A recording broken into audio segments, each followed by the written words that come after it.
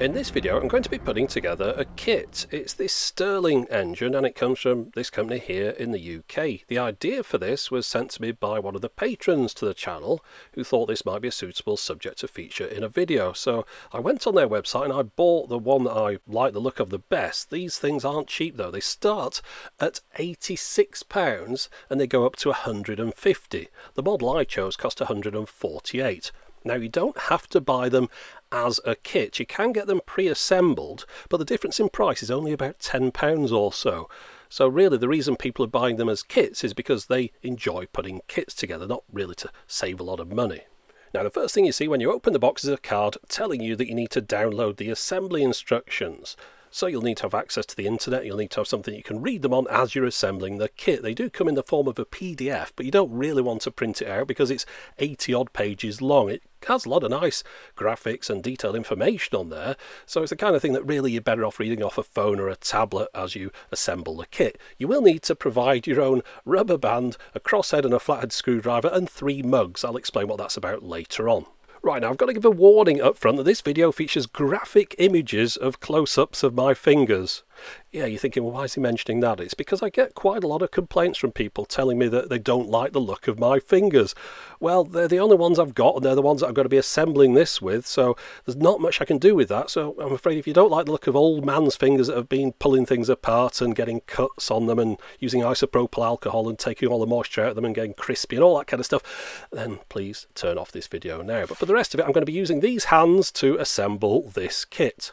First thing, stick this metal thing into the base using the container as something to hold it here, so don't throw that out. Now the next thing, getting the plastic coating off this acrylic. They don't all come with acrylic, some of them come with sort of copper cover bits that you have to take sticky stuff off. But same idea, got to remove it.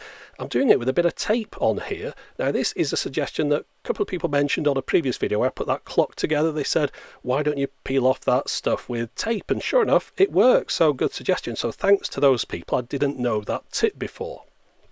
Unfortunately, this one was refusing to get going, so I thought I'll just pick the edge of it to get it started and ended up breaking my thumbnail. So that's not going to look pretty for the rest of this video. And notice the plaster on the other finger, on the other hand, I cut my knuckle while I got the tripod out. So perhaps I'm just unlucky, but I think it's more the fact that I do things with my hands, you know, taking things apart, putting things together, and it's inevitable that you'll get a bit of damage like this. I think I'm quite lucky I've still got all my digits. Anyway, let's carry on putting this together. Enough talk about fingers. I was wondering whether I should have a bit of background music going on in this video. You know when people assemble things they usually have a bit of music playing. I don't know if I'm a bit odd by not doing that. But anyway, we'll move on. Here's where the mug comes in. You rest the thing on top of the mug and product placement. I'm going to do that here. And then these brass pins go through all the holes on the outside. Because there's quite a few of these, I'll just skip to the end of this. I'm trying to keep this thing as brief as possible whilst showing the whole assembly process, but I don't want to keep you here too long by showing you the bits that are repetitious.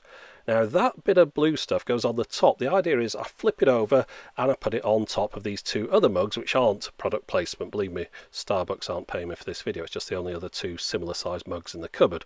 So the idea is you flip it over and oh, one of the brass pins has fallen out. And the reason for that is because the bit of blue stuff that's on the diagram only has a hole in the middle for that rod to go through, whereas the one that was in my kit has a long slot in the middle, which means that the brass pins are either side of that falling through there. So I've just put a bit of tape on top of that so that I can do this part again. So the only reason it's going on there is just to flip it over and stop all those pins falling out. So let's just flip it upside down. We got it this time.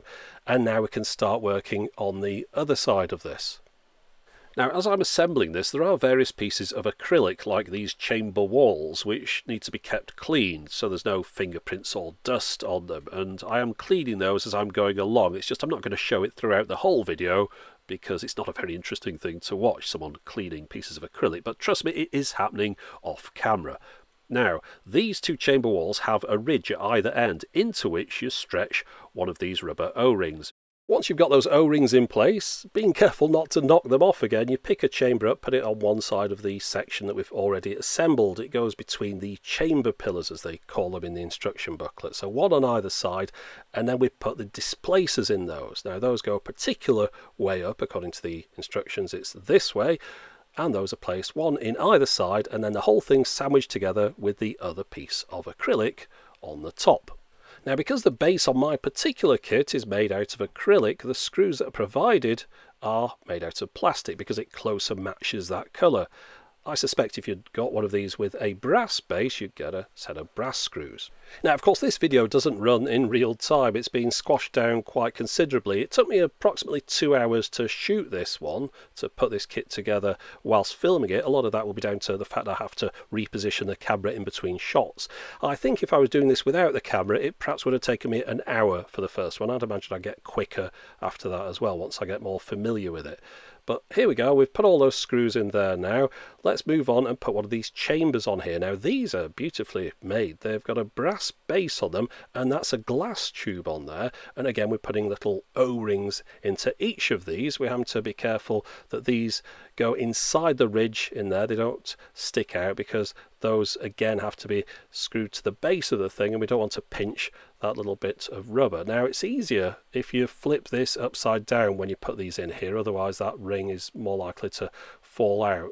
The holes that are in that acrylic base have a thread already in them, so it's just a matter of tightening those up, making sure you're not cross-threading them. Now moving on to the next part, which is putting the T-bar carriers into that central column. Now there's a front one and a rear one. You've got to make sure you get them the right way round. Once you finger tighten those, you can then tighten them further using the Tommy bars. Now the Tommy bars are just metal bars. Those go into a hole in either side and it just enables you to get a little bit more purchase on there so you can make sure that it's nice and tight.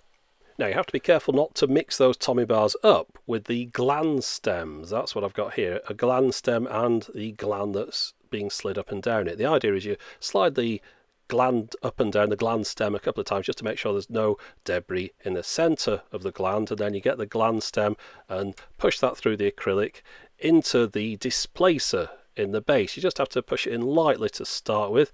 Now we've got the gland, we have to put a rubber O-ring around both of those as well to make sure those are airtight. Same as the last one, make sure the O-ring doesn't sit outside there and then slide it over the gland stem and again screw it into the ready-made screw threads that are in that acrylic base.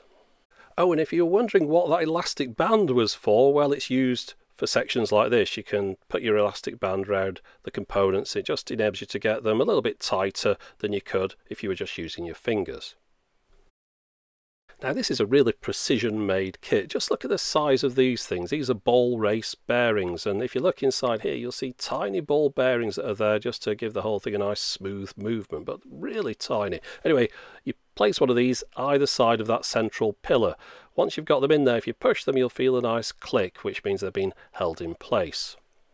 So this is the flywheel, and beautifully made it is too, and that attaches to the hub and axle, and you can see you can only put this one way round because it's got the countersunk screw holes, but also because those three screw holes are asymmetrical, so you've got to spin it around so you can see all three things line up, and then once you get that right, you just tighten it up with the three screws. So once you've got that together, you put it onto the central column through those bearings that we put in before, and you can see once you've got it through there, how smoothly everything moves. It does, however, still, of course, need to be secured from the other side, and that's done with these two things. We've got a crank and a screw which goes into a hole on the side of it, and once that's in position, you then place it over the axle on the flat plane, and once you've got that on there, just tighten it up once it's all in place, you're supposed to be able to spin that flywheel and apparently it will keep spinning on its own for minutes. If it doesn't keep spinning that long, then just loosen the crank a little bit, just move it a little bit away from the rear so there's a bit of play in there and then tighten it up again. And once you've done that, it should spin freely enough. Now every time I put a kit together I always find there's one bit where I go a little bit wrong and it's perhaps because I wasn't concentrating enough. Anyway that's the part in this video that's about to happen now. I'm assembling this section here, putting these three parts into the back of the crank and these are the three parts that I've got here and I've put them into the back of the crank. Now did you spot what I did wrong there? Well if you didn't I'll show you in a second. But first I'll put the two bearings into the T-bar. One goes into the front, one goes into the rear. By the way these ball race bearings have to be a certain way around. The sealed side faces out. Anyway, once they're in that T-bar, the T-bar can go onto that central column, making sure that the crank goes through the hole in the top, and then it just gets tightened up with one screw. So here's the part where I found I'd done something wrong. I've got four of these metal things, these are called conrods, and I've got three plastic things to go in them. Those are called conrod bushes. The reason I've only got three is because the fourth one was the one that I put in the back of here. I should have put a metal one in there. They're the same size, which is why I got mixed up. If I'd read ahead in the instructions, I probably could have avoided that though. Anyway, it's only a simple matter of taking it out of the machine, swapping it for one of the metal ones, putting that back in there, and now I can get on and put the other ones onto the device. But it's just something to bear in mind if you are putting one of these together that those could be mixed up. In fact, I do a little bit of a thing wrong here. I put these plastic conrod bushes on all the conrods and have them all facing the same way. There's two of them that are supposed to face the other way, but I'll sort that out in a moment. I'll put two of these on the machine now though. They go through the hole in the gland stem and then it attaches that up to the end of the T-bar. And once you've got that one screwed into there, you just do the same with the one on the other end. It's at this point you start to feel that the machine is really coming together now. It really wants to move on its own, but we've got a few things to do yet. And the first one is to push down those gland stems into the displacers using the end of a flat edge screwdriver. You push them to the bottom on both sides, and that means that the displacer is carefully balanced between the two pieces of perspex. It doesn't actually touch either one, it just goes up and down but just stops short of the top and bottom of that chamber. So that's one side of the machine almost done. We're now moving to the other side, doing a very similar thing, putting a bush on top of a bearing and putting that onto the other side of that wheel. And this time, of course, I'm doing it with the right metal bush on there and then we're putting the two bearings into the other T-bar and putting that onto the other side of the machine just like we did before. So now I'm returning to those conrods that I'd assembled the wrong way around before where I got ahead of myself. I need to take the screws out and put them in the other way around so the hook faces the opposite direction and now I've done that I can then put those into these pistons and the pistons once I've got those through the hooks on them go into the two glass tubes on this side of the machine and of course each one of those is attached to either end of that T-bar with a screw. And with that, the assembly is done. There are no parts left in the box. I've just got to give it a quick look to check everything is nice and straight, and it looks fine to me. So let's try it out. Now a Stirling engine runs on heat, so I've boiled some water, put it in this mug, put the Stirling engine on the top. You just got to wait a couple of minutes for the bottom of it to heat up and then you can spin the wheel and fingers crossed it should carry on moving. Now, it was looking a bit touch and go there for a minute, but I can see it is now starting to move under its own steam, or I should really say its own power. And I'll explain how it does that. All Stirling engines operate on a difference in temperature. On this one, it's the difference in temperature between the top plate and the bottom plate, which is getting heated up by that mug. Now, when that large displacer disc is at the top of the chamber, the air is at the bottom and when air gets heated it expands. So when the mug expands it by heating the bottom plate that drives the piston up that's inside that glass tube which pushes on that T-bar which turns the flywheel and the flywheel's pushing down the displacer on the other side which is letting cool air above the displacer because the air moves around the outside of that displacer disc moves to the top. So the warm air moves to the top gets cooled by the top plate which also helps to push down the piston on the other side which helps to move the flywheel and the whole thing just carries on like that. It's basically the difference in heat between the top and the bottom which is getting this thing to move. Of course you need to start it off manually but once it's going it'll just keep going and the machine can also operate in reverse. By that I mean if the top of it is hotter than the base, then the machine will operate. It'll just spin in the other direction. I've got mine outside here. I'm spinning the wheel to the right and it says, no, hold on, we're going to spin to the left this time. The reason being is because it's getting heated up by the sun. This solar model has got a clear top on it and that enables the sun to get through to the top of the chamber and hit the top of those displacers which has been coloured black and that means those absorb heat better so the power of the sun is now powering my Stirling engine. And you really don't need that much heat difference to power one of these. You could power it just from the heat of the palm of your hand as long as you're in an environment where the air temperature is a little bit different to your body temperature. But I think the best place to power one of these is by putting it on top of something like a set-top box.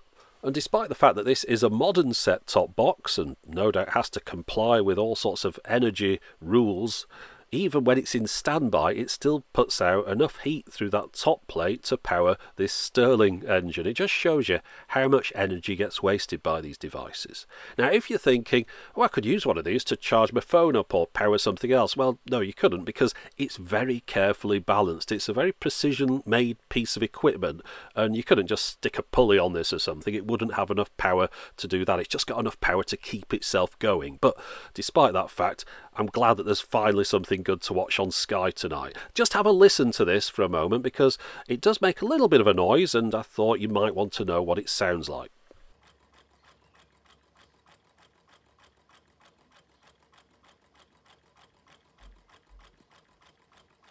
So not an unpleasant sound and quieter than some clocks, although it does sound a little bit like a clock that's running a bit too quickly. So you could just put it on a shelf and have it as a, a decoration, an ornament until you wanted to get it off there and put it on top of something to demonstrate to someone. It is quite a nice looking object in its own right. Now, if you want to get hold of one of these, well, I'll have links to the official website in the video description text box. They're in the UK, and I'll also have links to them on eBay. One thing, if you look around their website, you'll find quite a lot of them are out of stock, either in the kit form or in the fully assembled version. You have to toggle between the two. It seems like the fully assembled ones, there's more of those than there are of the kits. One thing you might want to do is go to their eBay store. If you're shopping internationally, it's probably easier to get it through there. And of course, if you're looking on eBay, they'll only list the products that they've currently got in stock at the moment. So there you go. It's not a cheap kit, but it's very well manufactured and it's good fun to put together as well. And you get something interesting to put on the shelf at the end of it. But that's it for the moment. As always, thanks for watching.